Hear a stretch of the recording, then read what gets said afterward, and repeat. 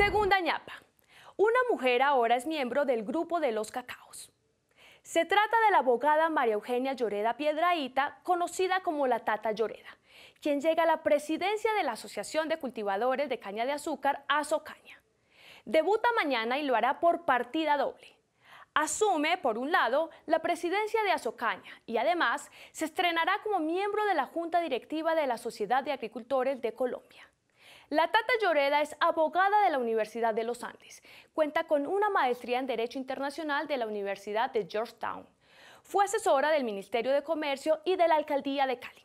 Se venía desempeñando como gerente de la ANDI seccional Valle del Cauca. Para que vean, no es que haya ahora mejores mujeres, es que se les está dando la oportunidad de brillar.